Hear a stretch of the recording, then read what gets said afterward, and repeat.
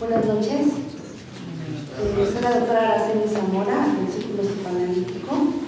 Tengo el honor de presentarles al doctor Daniel Weber, que es miembro activo del Círculo Psicoanalítico Mexicano. Y, eh, bueno, eh, aparte de, de ser miembro del Círculo Psicoanalítico Mexicano, eh, es autor de, varios libros, entre ellos El psicoanálisis en el malestar en la cultura, Discurso y verdad, y de la erótica a la clínica. En esta ocasión nos va a presentar su conferencia que se llama Una necesaria crítica de la noción de género desde el psicoanálisis. Dejo la palabra al doctor Daniel Guerra.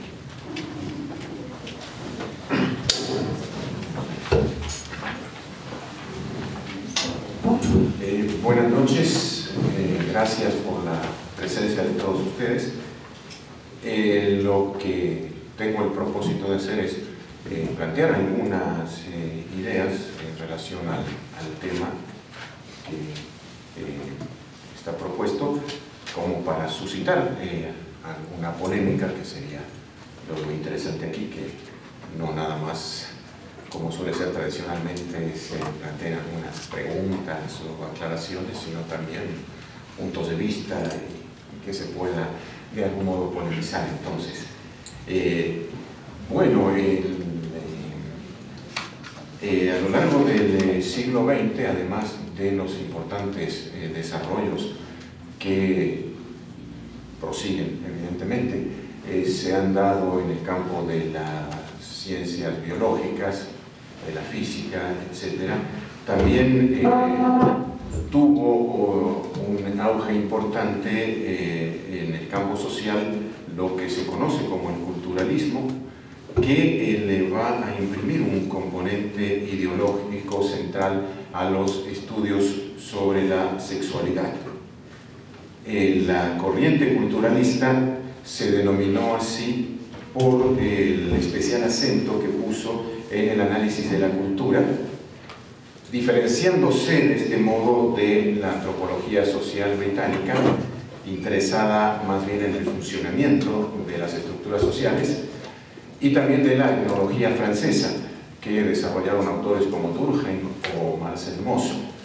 Eh, en Estados Unidos, eh, dentro del eh, culturalismo, Francis Boas estudió los comportamientos de hijos de inmigrantes para demostrar que lo que se llaman razas biológicas no eran inmutables y que la conducta y el comportamiento de cada grupo humano obedecían a su propia historia y a las relaciones que hubiera establecido a lo largo del tiempo con su entorno social y natural, y no al origen étnico del grupo o a leyes naturales.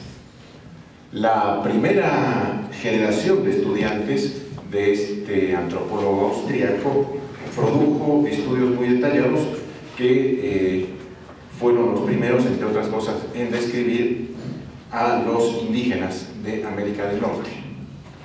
Con esto eh, dieron a conocer una gran cantidad de detalles que fueron usados para atacar la teoría del eh, proceso evolutivo único y también su énfasis en los idiomas indígenas contribuyó al desarrollo de la lingüística contemporánea. Eh, a esto siguieron estudios sobre cultura y personalidad llevados a cabo por discípulos de Boas, como Margaret Mead, Ralph Linton y Ruth Benedict, que eh, reconocen ciertas influencias psicoanalíticas, eh, particularmente de Freud y de Jung. Estos autores eh, analizaron cómo las fuerzas socioculturales forjan la personalidad individual. Por otro lado, la antropología francesa eh, a partir de estos autores que mencioné antes, como Durkheim y Moss, eh, se nutrió de los vínculos que Claude Lévi-Strauss estableció con antropólogos estadounidenses e ingleses. Mientras que Gran Bretaña asistió más bien al esplendor del funcionalismo. Según esta corriente, eh, la función sustenta la estructura social, permitiendo la cohesión fundamental dentro de un sistema de relaciones sociales. Eh, estos son antecedentes eh, para tratar de señalar la estrecha vinculación entre el culturalismo y las llamadas así teorías de género, que plantean que la orientación sexual de una persona y su identidad o género son el producto de una construcción social y que por lo tanto los lugares que se ocupan no dependen de un dato biológico, sino de la función por desempeñar, socialmente hablando. Em, el terreno eh, de los eh, discursos que se entrecruzan en torno de la diferencia sexual, los géneros socialmente reconocidos y la identidad femenina en particular eh, ha sufrido en los últimos tiempos una serie de modificaciones que son imposibles de sintetizar. Poco a poco se ha ido construyendo una zona que podríamos decir tiene algo de equívoco, donde confluyen, sin lograr comunicarse del todo, eh, distintas corrientes del psicoanálisis, diversas políticas feministas y eh, la dispersión de enfoques de las ciencias sociales.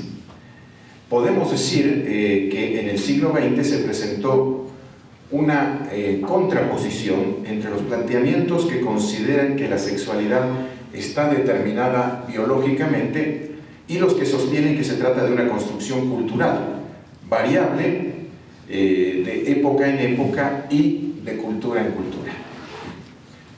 El concepto de género surgió entre los años 50 y 60 del siglo XX, en el ámbito, eh, curiosamente, primero de las ciencias médicas, para explicar eh, ciertos casos paradigmáticos de intersexualidad y ambigüedades genitales. Pero eh, su impacto en el ámbito de las ciencias sociales fue significativo, pues supuso poner fin a las explicaciones derivadas de las determinaciones biológicas y alertó acerca de la construcción cultural de la diferencia sexual. El género eh, se transformó en un instrumento fundamental de la teoría y la práctica feministas en particular y cuestionó eh, teorías esencialistas sobre las diferencias entre varones y mujeres. A partir de la inclusión del género en la lectura de la realidad, se reservó el término sexo para designar las diferencias anatómicas y fisiológicas entre machos y hembras, en tanto que el término género se utilizó para designar la elaboración de valores y roles impuestos por la cultura sobre la diferencia sexual. Así, por ejemplo, se dice que la mujer que aparece en las teorías es el producto de una construcción social específica de lo femenino y que la dominación sexista trabaja en el interior de las disciplinas supuestamente científicas, racionalizando lo que no es más que relación violenta de poderes. Eh, se afirma, por ejemplo, nada determinante hay en la condición biológica eh, femenina. Ah, antes de 1955, eh, no existía el concepto de género eh, para referirse al sexo de una persona, ni tampoco lo que se llama, con una terminología mm, que evoca el DSM-4, el trastorno de identidad de género. Fue en Estados Unidos eh, John Money, se escribe igual que dinero, John Money, quien creó el término señalando que la identidad de género no podía diferenciarse ni llegar a ser femenina o masculina sin estímulo social. Eh, en contraposición con los determinismos biológicos, afirmó que la sexualidad es multicausal. Eh, por otro lado, eh, otra corriente que se suele denominar constructivismo, inspirado fundamentalmente por Michel Foucault, eh, dio un paso más en su lucha contra el enemigo, así considerado, eh, representado por el esencialismo, del cual formaría parte el psicoanálisis, eh, al plantear ciertos puntos de referencia fijos del ser humano. El llamado así constructivismo Foucaultiano intentaría construir experiencias subjetivas nuevas y distintas, llamadas invenciones de sí mismo, en las que pululan los placeres nómades. El sujeto mutante de Foucault, abierto a la diversidad de voces, repudiaría cualquier estructura determinada, incluida la del inconsciente. De ahí el rechazo eh, de Foucault al psicoanálisis. Eh, así es como el eh, constructivismo, ligado con algunos estudios feministas, gays, queers y lesbianos, todos enraizados con el culturalismo, se aparta del psicoanálisis acercándose a una especie de liberalismo que enarbola como ideal la consigna eh, tu cuerpo es tuyo. Algo sobre lo que vamos a regresar luego. Los tiempos actuales parecen haber hecho caducar la antigua oposición entre el biologismo y el relativismo cultural que mencionaba antes, porque la ciencia se ha puesto, curiosamente, al servicio de este relativismo. Si eh, las teorías de género afirman que no existen papeles sexuales esenciales o biológicamente inscritos en la naturaleza humana, sino formas socialmente variables de desempeñar uno o varios papeles sexuales, la ciencia de nuestros días favorece tal supuesto. Eh, alquiler de úteros, cambio de sexos, espermas congelados que se venden según los gustos, son algunas de las tantas formas en las que se comprueba la asociación entre la ciencia, el culturalismo bajo su aspecto más funcionalista y por supuesto también el mercado. Pero eh, si el fenómeno se analiza más a fondo, se advierte que la alianza mayor no es entre el culturalismo y las técnicas científicas, sino entre el constructivismo y estas. La consigna que mencionaba, eh, tu cuerpo es tuyo, eh, hace que ese cuerpo ya ni siquiera responda a la impronta cultural, y que se adapte a los nuevos avances de la biología como ciencia de lo sexual. Eh, pero nada de esto sería posible sin otro elemento que viene a tener un papel importante aquí, lo que podemos llamar la ideología de los derechos humanos. Eh, evidentemente, en lo general no podemos estar en contra de estos, pero eh, su intervención se hace presente con ese precepto central de que no existe nada que la igualdad de derechos no pueda resolver. Eh, esta igualdad estaría incluso por encima de cualquier cultura. Em, bueno, es importante eh, hacer aquí alguna consideración en torno, hemos mencionado a este importante autor francés, Michel Foucault, eh, muy brevemente a lo que podemos llamar la teoría del sujeto. Eh, sus críticas hacia el psicoanálisis se fundamentan en considerarlo esencialista. Es decir, que en este campo plantearía una especie de esencia propia de los sexos.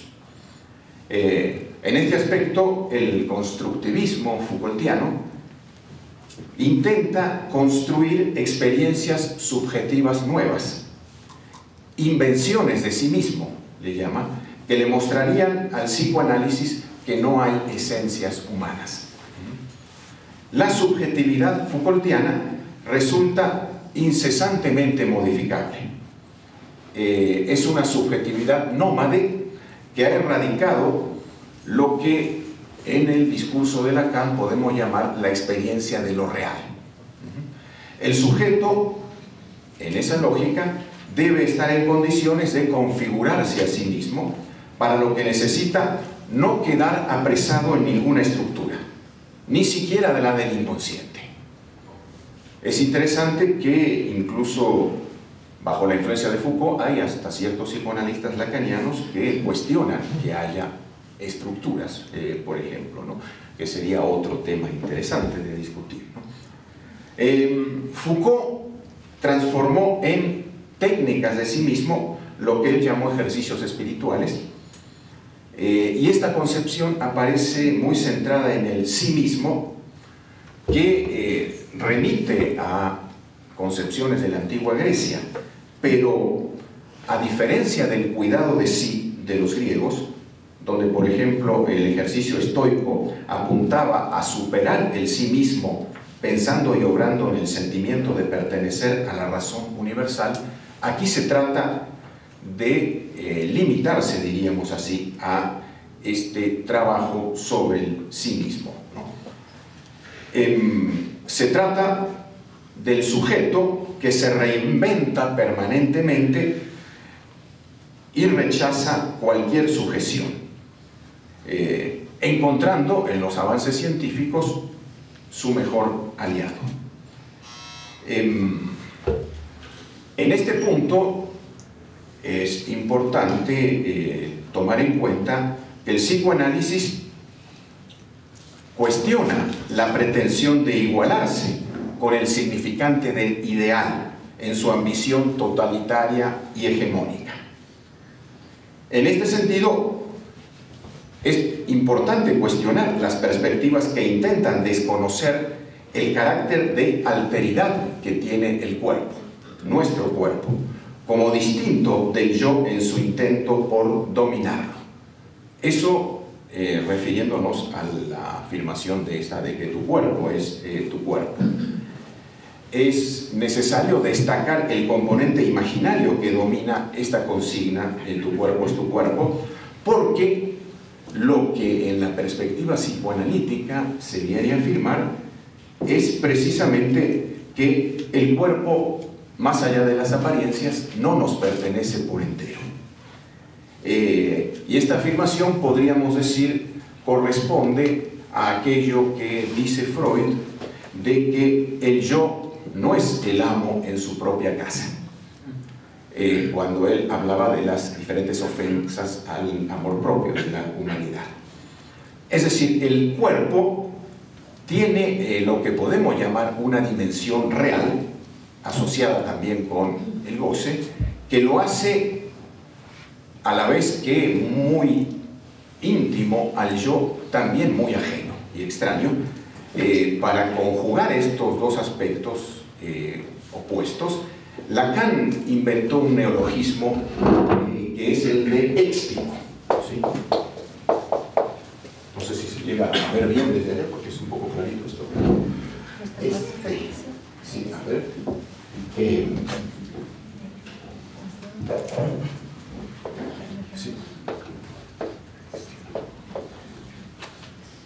Donde eh, conjuga la intimidad, ¿verdad?, con lo más ajeno y extraño, en esto que él llama lo éxtimo. Bueno, eh, aquí también podríamos recordar una muy controvertida afirmación freudiana, eh, la anatomía es destino, muchas veces criticada, pero de la que podríamos hacer una lectura particular. Algo que llama la atención en esta afirmación freudiana es cómo pudo Freud, que consideró que la sexualidad se constituye a partir de las identificaciones, lo que hace eh, que el sexo no sea un dato primero, tesis básica que él formula, retomar esa sentencia de Napoleón tan repudiada, por otro lado, por los estudios de género, algunos piensan que se trata de ciertos resabios biologistas propios de Freud que ya Lacan superó, ¿no? y entonces podemos dejar de lado tal afirmación. Sin embargo, eh, por un lado podríamos decir que Lacan no desconoce el lugar de la anatomía, pese a todo. Eh, por ejemplo, cuando él interviene en la entrevista con un paciente eh, diagnosticado como psicótico, que hace en, una presentación en, el hospital, que al estilo ya de Schreber presenta un delirio que podría llamarse eh. Es muy interesante y ustedes pueden acceder eh, a esta entrevista eh, traducida. Está en un blog que se llama El psicoanalista lector, un blog de un psicoanalista argentino, Pablo Pensner. Bueno, allí en un pasaje, este paciente que aparece con el nombre del señor Primó, dice tenía la impresión de que mi sexo se iba encogiendo y de que me iba a convertir en una mujer. Lacan le dice, sí. Tenía la impresión de que me iba a convertir en un transexual, agrega. Lacan le pregunta, ¿un transexual? Él dice, es decir, a sufrir una mutación desde el punto de vista sexual. Lacan le pregunta, ¿y eso qué quiere decir? ¿Ha tenido la sensación de que iba a convertirse en una mujer? Él dice, sí, tenía determinados hábitos, me maquillaba, tenía esa impresión angustiante de encogimiento del sexo y al mismo tiempo la voluntad de saber qué es una mujer, para intentar entrar en el mundo de una mujer, en la psicología de una mujer y en la expresión intelectual psicológica de una mujer. Lacan le dice, usted esperó, es con todo una especie de esperanza responde, era una esperanza y una experiencia. Lacan le dice, es una experiencia de que, no obstante, usted tiene un órgano masculino, ¿sí o no? Le responde, sí. Es un pasaje eh, donde Lacan, con todo y lo que dice el paciente, afirma algo que tiene que ver con eso real. Eh, del eh, cuerpo, eh, eh, en donde podemos advertir que nos, con todo, ¿verdad? Y la constitución del sujeto sexuado, desde lo simbólico, no puede obviarse completamente. de hecho, ya desde tres ensayos de teoría sexual, Freud señaló que la sexualidad no es biológica en el ser humano. Habló de la perversión polimorfa de la sexualidad infantil y también eh, indicó que la posición sexual del sujeto, cualquiera sea, es siempre un destino posible determinado por los avatares infantiles. Con todo esto uno se pregunta, ¿por qué entonces posteriormente viene esta afirmación de la anatomía como destino? Em, podría pensarse, tal vez, que más allá de las diversas orientaciones libidinales de la constitución del objeto sexual como producto de una historia, el cuerpo real no deja de ser una marca insoslayable. Eh, Lacan, eh, por su parte, elaboró lo que se conoce como las fórmulas de la sexuación. Eh, vino a indicar que todo ser hablante puede inscribirse del lado masculino o femenino independientemente de sus características eh, anatómicas. Eh, en el lado masculino encontramos la función fálica como universalidad. Eh, y en el lado femenino lo que la cuestiona como no todo.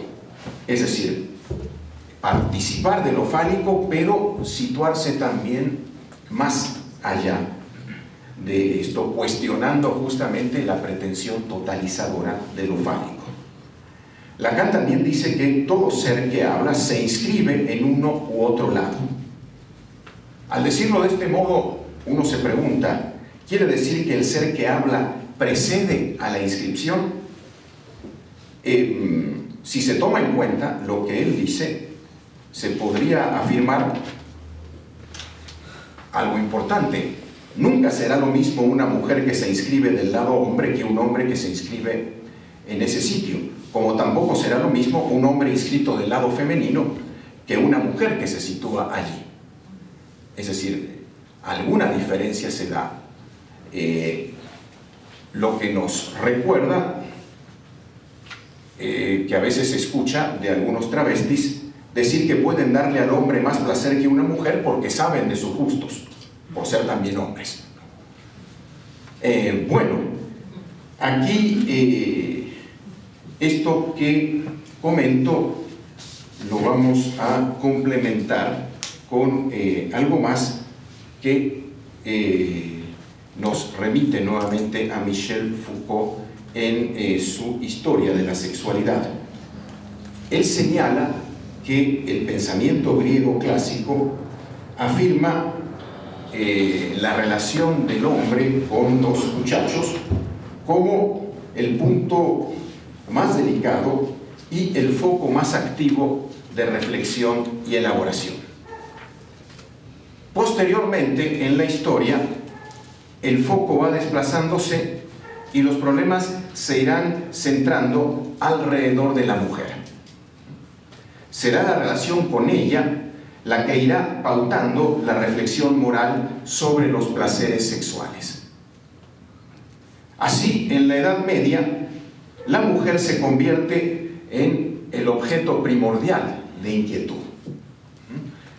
Desde el fin del siglo XII hasta el fin del siglo XIV se publican, eh, o más bien este, escriben, diríamos, todavía no hay imprenta, una serie de textos escritos por hombres de la iglesia y laicos eh, que pretenden elaborar normas y valores de conducta para las mujeres.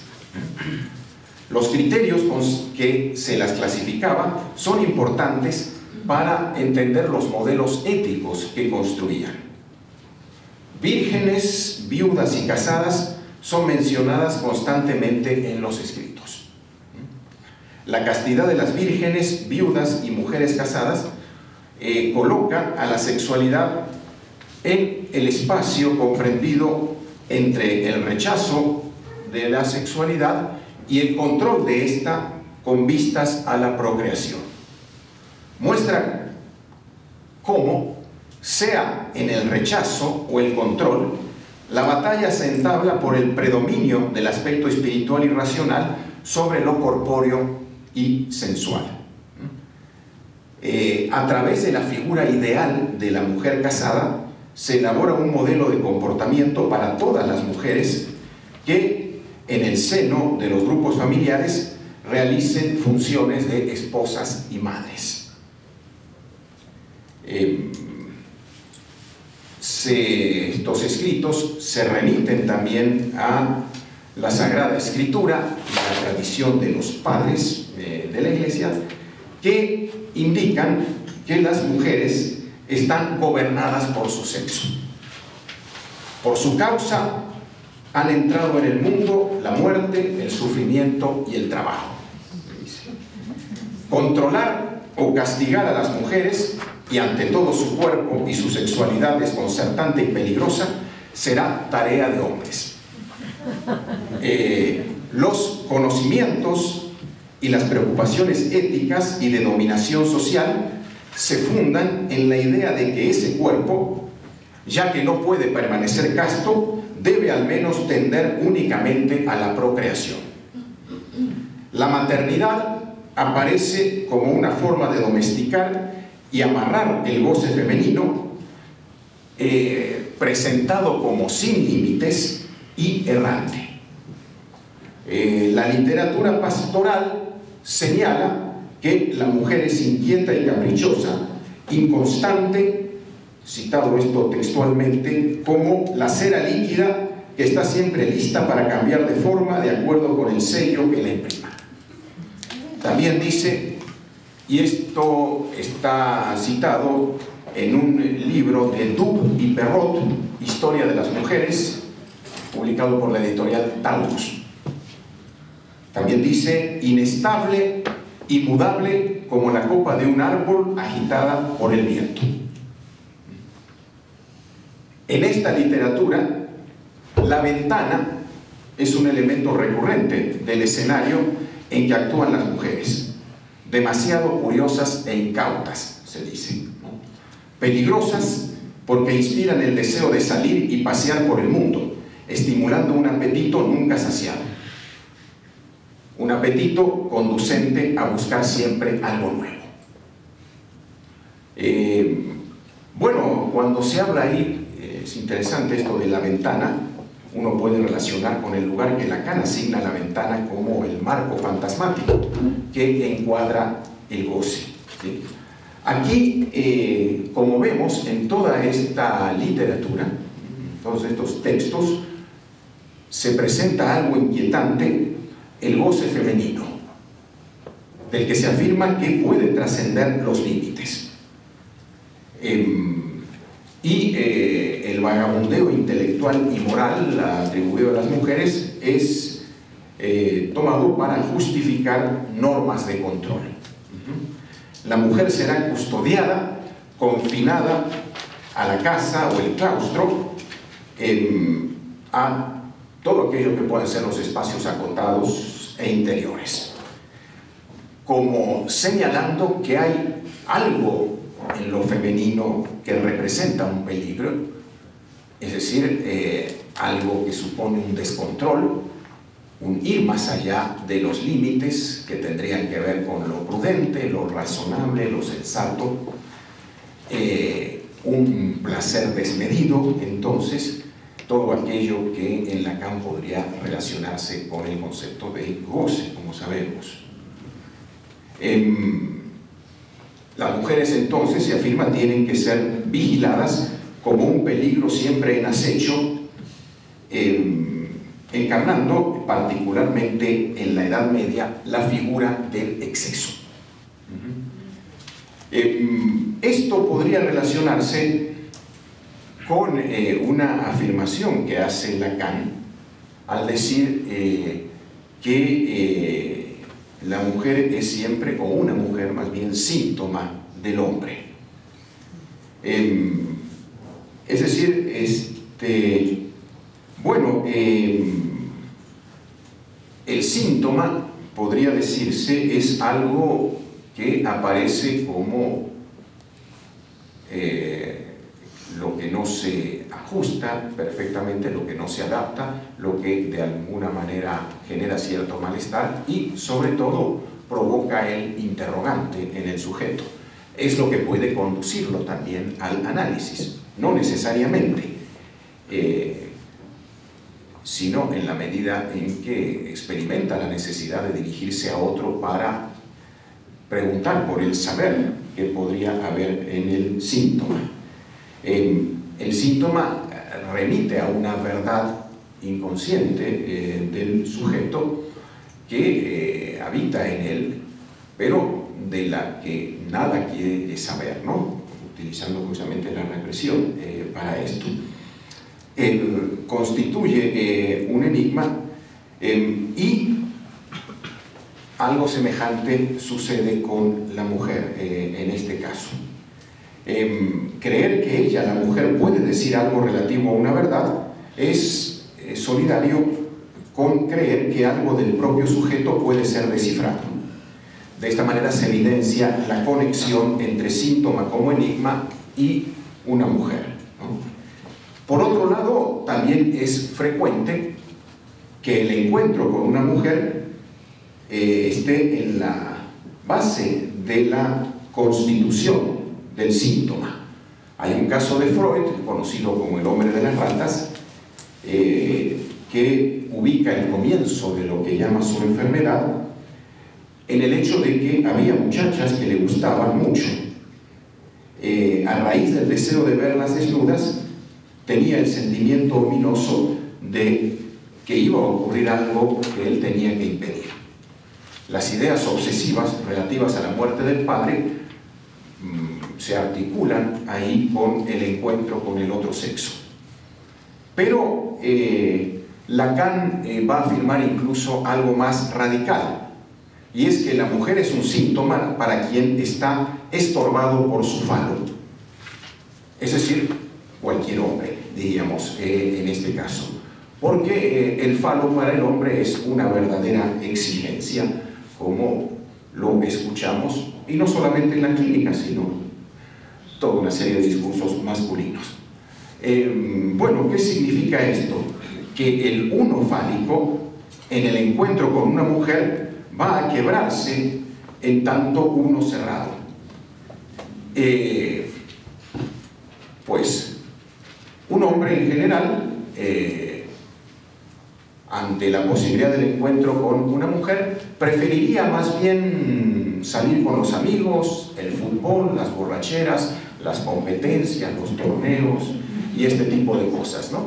Y que su goce pueda ubicarse eh, allí, ¿no? Porque en el encuentro con una mujer algo de cuestionamiento a su potencia fálica, el narcisismo fálico se le va a presentar. ¿no? Y aquí es justamente donde una mujer puede ser síntoma de un hombre. Lo es en la medida en que el hombre, Lacan afirma que allí cree, ¿no? Uno cree que ella dice efectivamente algo. Eh, aquí puede uno preguntarse si un hombre puede creer que es su síntoma puede decir algo, si no cree que ella, una mujer, pueda decir algo. Em, podría estar muy relacionado con eh, un detalle de la biografía de un personaje tal vez no muy conocido eh, en la historia de la literatura, que se llama eh, Nora Joyce, fue la esposa de James Joyce. La biografía de un autor llamado Maddox dice en un pasaje Nora es importante porque perteneció a Joyce y porque de hecho nunca le perteneció. Eh, es decir, eh, nos indica que la mujer, al igual que el síntoma, tiene un carácter radicalmente hetero, otro. Hay algo ahí del orden de lo siempre eh, inaccesible, imposible de dominar, de este, encasillar en alguna clase de eh, saber. Bien, eh, esto lo vamos a vincular también con otro aspecto relacionado con la sexualidad y el cuerpo, que es la presencia inevitable del goce en el sujeto. De eso que Lacan llamaría el real de goce que no puede inscribirse en el lenguaje, que no puede decirse, representarse allí. De hecho, eh, en el apartado eh, titulado los, eh, Procesos afectivos del segundo de los tres ensayos de teoría sexual, la sexualidad infantil, nos dice Freud, es fácil comprobar mediante observación simultánea o exploración retrospectiva que los procesos afectivos más intensos, aún las excitaciones terroríficas, desbordan sobre la sexualidad. En el escolar, la angustia frente a un examen, la tensión provocada por una tarea de difícil solución pueden cobrar importancia, no solo en lo tocante a su relación con la escuela, sino para el estallido de manifestaciones sexuales. El efecto de excitación sexual de muchos afectos en sí displacenteros como el angustiarse, el estremecerse del miedo o el espantarse, se conserva en gran número de seres humanos durante su vida adulta. Y explica sin duda que muchas personas acechen la oportunidad de recibir tales sensaciones, sujetas solo a ciertas circunstancias concomitantes. Es lícito suponer que también sensaciones de dolor intenso provocan idéntico efecto erógeno. Como vemos, eh, en la sexualidad no se trata solo del placer en ese sentido de reducción de una tensión. Freud indica aquí, menciona una que podemos llamar una dimensión suplementaria que desborda ese placer, que será aquello que Lacan va a conceptualizar bajo el término goce. Eh, y que en los sujetos no deja eh, de estar presentes de un modo u otro. ¿sí? Eh, una afirmación categórica de Freud, que podría ser incluso más escandalosa que eh, la existencia de la sexualidad infantil o tomar a las perversiones como el modelo de la sexualidad, es esta constatación de que estamos condenados de un modo u otro al goce. Eh, y que eh, en este sentido, entonces, el concepto freudiano de pulsión vendría a señalar justamente esto. Freud eh, toma las neurosis obsesivas como paradigma para mostrar cómo las medidas más enérgicas que un sujeto puede emplear para renunciar al goce están contaminadas de él. No goza de la satisfacción directa de su pulsión, sino de todas esas medidas que adopta para rechazarlo. Entonces, el goce que se rechaza de un lado se obtiene de otro, de tal manera que resulta imposible no gozar, aun cuando no se sabe de esto. Pero por otro lado, esta es una afirmación que encontramos en Lacan, el goce es ante todo del uno. Eh, uno siempre goza solo. El goce es ante todo autoerótico. Esto no invalida la constatación de que en el terreno de la sexualidad el sujeto tiene siempre un llamémoslo así, un partener, una pareja, ¿no? Pero el partener fundamental no es otro, ¿no? Eh, de otro sexo, del mismo o como sea, sino es el goce. Así eh, Freud lo afirma cuando él señala que el origen de la actividad sexual es puramente autoerótico y busca obtener una ganancia de placer localizada en una zona corporal determinada que denomina zona erógena. En otro texto, posterior a los tres ensayos de teoría sexual, que es Fantasías histéricas y su relación con la bisexualidad, él afirma eh, que eh, el autoerotismo inicial puede dar paso a la relación con un objeto a través de la intermediación de lo que puede llamarse el fantasma. Dice, originariamente la acción sexual era una empresa autoerótica pura, destinada a ganar placer de un determinado lugar del cuerpo, que llamamos erógeno. Más tarde, esa acción se fusionó con una representación deseo tomada del círculo del amor de objeto y sirvió para realizar de una manera parcial la situación en que aquella fantasía culminaba. Es decir, que esto que la traducción llama fantasía, que tendría tal vez un nombre más exacto de fantasma, eh, nos indica que este paso del autorotismo originario a la actividad eh, que en una primera instancia es masturbatoria, requiere del fantasma como su sostén. Eh, la satisfacción fantasmática, masturbatoria, puede definirse como el goce de una escena. En una escena o por una escena en la que el sujeto está presente y donde se incluye eh, un objeto. Em, y años después, Freud afirma que este escenario además es esencialmente masoquista. Em, en un texto titulado Pegan a un niño. Em, porque el único medio con el que va a contar para asumir el dolor de existir, inevitable por la existencia de la castración, es incluirse en esa escena primordial que es la escena de su sometimiento al orden simbólico, haciéndose castigar para sufrir a la vez que viéndose a sí mismo sufriendo. Em, la entrada en el orden simbólico implica una pérdida para el sujeto que podemos denominarla pérdida de ser.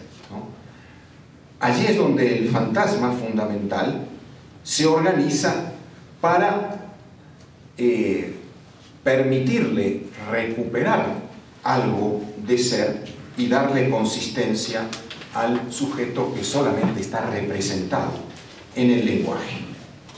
En este sentido, esta escena de sufrimiento pasivo, que simultáneamente sostiene y aniquila el ser del sujeto, eh, es justamente la escena que toma el lugar de lo reprimido primordial, de ese efecto de ser inevitablemente tachado por el significante.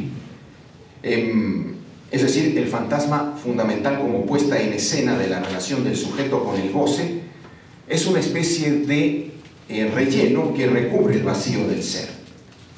Porque hay una brecha infranqueable entre el ser y la identificación simbólica por la que el sujeto asume, bajo la forma de una elección forzada, una identidad que le es impuesta por el otro. Dice soy hombre, soy mujer, etc.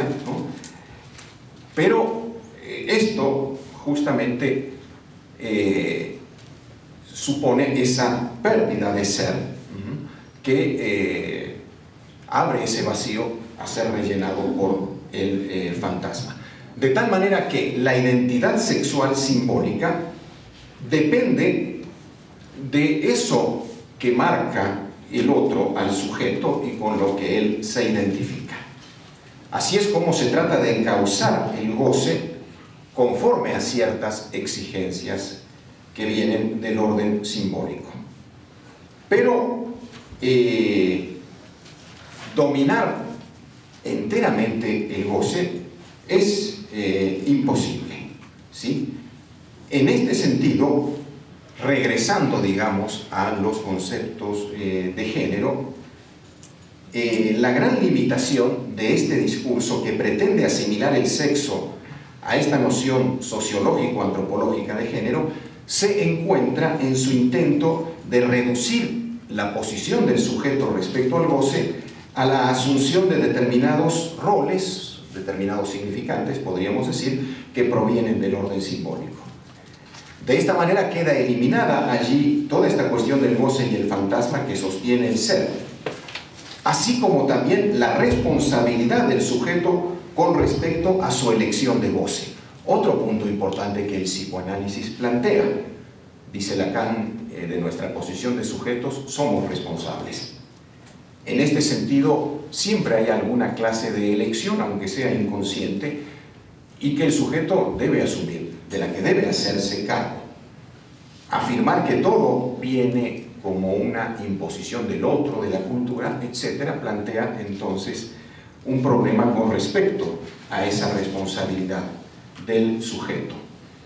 Entonces, se tiene que distinguir entre eh, la sujeción significante del orden simbólico que asigna lo que se llama así en términos muy generales identidad sexual y el fundamento fantasmático inconsciente que da consistencia al sujeto carente de ser y que sostiene esa identificación eh, significante. En, este eh, aspecto eh, no basta, entonces podríamos decir, con las identificaciones del sujeto con ciertas pautas, exigencias, demandas significantes que vienen eh, del otro, sino que es preciso, y es lo que el psicoanálisis introduce, plantear esta dimensión eh, del goce, asociado justamente con eh, el fantasma, que ocupa, como decíamos, este lugar del vacío, de la falta eh, de ser provocada por el orden significante y que en eh, las nociones de género y demás no eh, se presenta claramente. Bueno, este, em, también el psicoanálisis establece esto que Lacan eh, eh, señala como eh, no hay relación sexual, una incompatibilidad radical entre un sexo y otro. También en el mismo sexo, digamos así, ¿no? Es decir, porque el otro, sea o no del mismo sexo, siempre es otro finalmente, ¿no? Siempre es el otro sexo, ¿no? Aunque digamos, en cuanto a su apariencia y su constitución anatómica, etcétera, pueda ser, eh, semejante. En, este sentido, esta incompatibilidad es eh, consecuencia eh, de eh, lo que mencionábamos anteriormente, la diferencia tajante entre el ser del sujeto y esa identidad simbólicamente asumida. La relación sexual es imposible no tanto porque el otro sea radicalmente diferente, sino por esa diferencia irreductible del sujeto consigo mismo, que ningún otro puede borrar, independientemente de su posición sexual eh, singular. Entonces, en la medida en que no hay ninguna fórmula o forma simbólica universal de la relación complementaria entre los sexos, cualquier relación para, para concretarse exige de un cierto suplemento. Este suplemento es una especie de guion particular que opera como muleta fantasmática, es decir, como el artificio necesario para que una relación en particular pueda sostenerse. Eh, en este sentido, la actividad sexual del sujeto no es la respuesta a la supuesta atracción que ejerce algún objeto de manera directa, natural. Eh, solo es posible por la constitución del fantasma fundamental que sostiene el escenario en el que ella puede realizarse. Eh, este fantasma fundamental le proporciona una posibilidad misma de ser al sujeto eh, en la medida en que él se define como carencia de ser.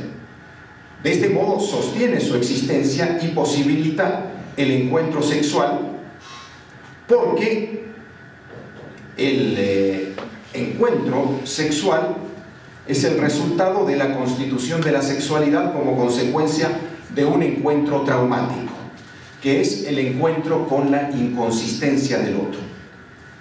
El otro, todo otro, comenzando por los padres y cualquier otro al que pudiéramos referirnos, se caracteriza precisamente como un otro no completo y un otro eh, inconsistente, eh, un otro deseante, siempre, de un deseo imposible de conocer. Eh, la sexualidad es siempre la repetición de ese encuentro fallido. De ahí la necesidad de apoyarse en el fantasma para que ese encuentro pueda en alguna medida sostenerse. Em, entonces, el deseo, decía, ¿verdad? Eh, el deseo como deseo del otro es por definición imposible de conocer. El otro tiene demandas, puede demandarme determinado tipo de cosas, siempre, pero esa demanda del otro siempre suscita el interrogante de ¿qué quiere? ¿Por qué me pide esto? ¿Por qué me dice esto o aquello? O incluso ¿por qué no me dice nada? Es decir, siempre ante el otro me preguntaré por su deseo. Deseo que no puedo conocer porque tampoco el otro lo sabe. Es decir, si el otro me responde, lo que va a formularme es una nueva demanda que abrirá nuevamente el interrogante por el deseo. Em, hay algo eh, imposible de conocer. Sin embargo, con el fantasma, el sujeto no solo se da cierta consistencia a él mismo, sino una cierta respuesta también a lo que quiere el otro, con lo cual es posible alguna clase de relación. Y no hay relación en ese sentido que no pase de un modo u otro por el fantasma. Por eso es que la sexualidad no puede ser nunca una actividad natural que podría materializarse en una relación sexual sana y normal. Eh, esto sería también otro problema eh, de discusión para eh, quienes plantean la noción de género eh, donde se habla de equidad y este tipo de cosas. Bueno, en el campo de lo político, de cierto tipo de cuestiones que tienen que ver con las oportunidades, etcétera, eh, ahí es, un problema, ¿no? Pero en lo que se refiere a lo fantasmático, al goce y demás, hay cierta diferencia porque aquí siempre hay una relación eh, imposible. ¿no? Em, entonces, eh, podríamos decir que el planteamiento, diríamos, eh, central de Freud respecto de la sexualidad, retomado por Lacan,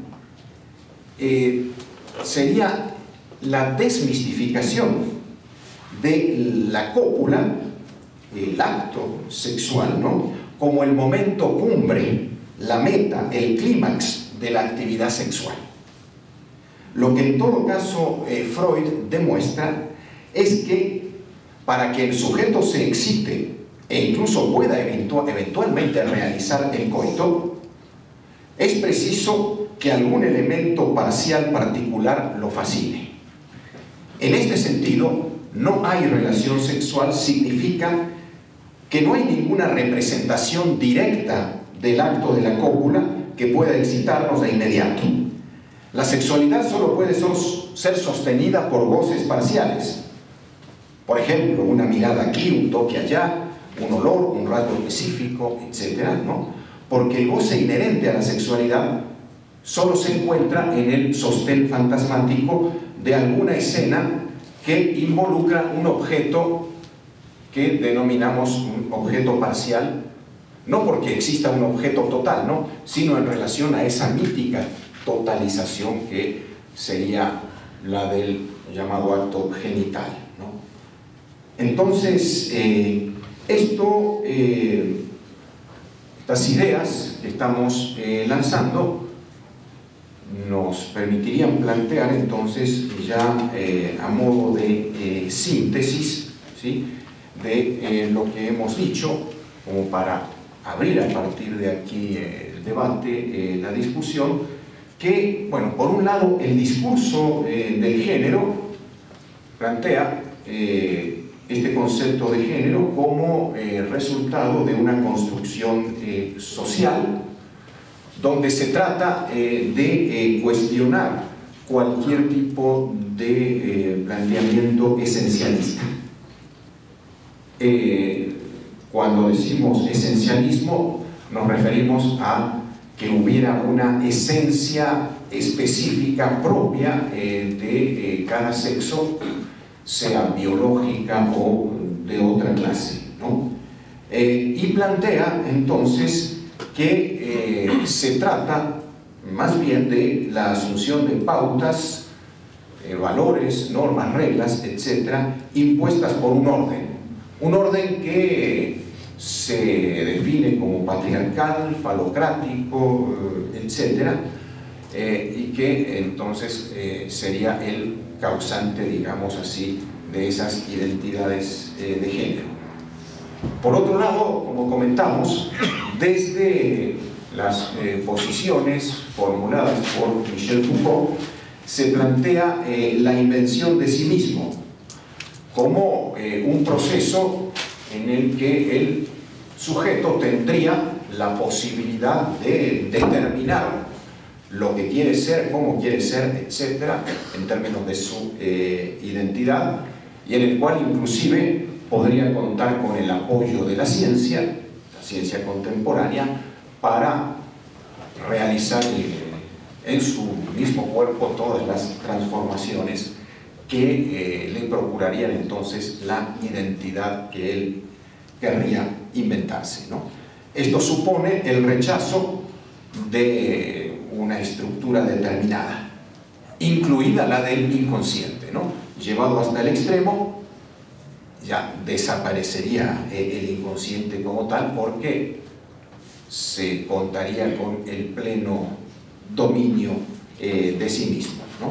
En función de esto, em, se postula entonces esta propiedad de cada uno sobre su cuerpo, eh, en lo cual decíamos que hay eh, cierta ilusión inherente a, lo imaginario, en el creer que, reproduciendo de algún modo las apariencias de que mi cuerpo es absolutamente mío y puedo tener el pleno eh, control de él, ¿no?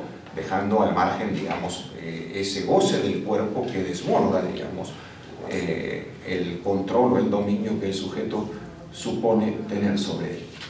Em, esto decíamos, eh, esta propiedad eh, sobre el cuerpo se apoya también en la ideología de los derechos humanos, eh, dejando de lado entonces eso real del cuerpo y el ser de goce, aquello que es, como lo hemos definido aquí, éxtimo al yo.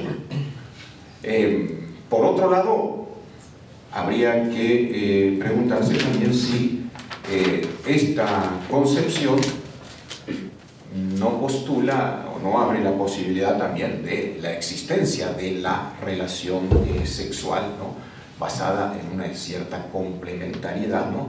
en la medida en que cada sexo puede asumir su identidad y reconocer también la del otro, respetando las diferencias y tomándolo en cuenta como su complemento. Desde la perspectiva del psicoanálisis, como hemos mencionado, se habla más bien de el sujeto como escindido y esta decisión la encontramos entre su ser real, ¿sí? de goce, y su representación significante, lo que determina una falta de ser en el plano de la identidad simbólica. Eh, esta decisión es irremediable y es constitutiva eh, de la subjetividad y determina la imposibilidad de la relación sexual, en singular, ¿verdad? No, hemos visto, de relaciones sexuales en plural. En la medida en que lo perdido para constituirse como sujeto no puede encontrarse en el otro. El goce, por otro lado, es, ante todo, decimos, autoerótico. Es goce del uno, contenido en el fantasma que le restituye al sujeto ese ser perdido y sostiene su identidad eh, simbólica. De tal manera que una relación sexual, y aquí habría que recordar eh, estos textos eh, en los que Freud habla de las condiciones del amor, y que tienen mucha relación con esto, de los años 10, que es un tipo especial de elección de objeto en el hombre, sobre la más generalizada degradación de la vida amorosa y el tabú de la virginidad donde precisamente eh, es la, eh, exigencia de que el objeto tenga algún rasgo o característica particular, puede relacionarse con lo que decimos de este suplemento. Por ejemplo, la del tercero perjudicado, del que habla Freud, eh, allí, ¿no? Como una posibilidad entre otras. ¿sí? Entonces, la, una relación sexual solo es posible por la presencia de este suplemento de goce como la condición para que se pueda eh, concretar. En este sentido, no hay aquí eh, equidad en el plano de lo fantasmático, diríamos, ni armonía. El sujeto, más allá de esa identificación sexual, tiene más bien que arreglárselas entonces con ese resto de goce que hace síntoma en él. De eso se trataría en el psicoanálisis, para saber qué hacer con esto.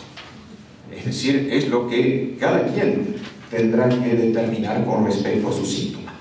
Bien, entonces estas consideraciones generales quiero dejarlas así para ustedes y abrir eh, la polémica o el debate con esto y, otras aportaciones que eh, pudieran hacer ustedes. Gracias.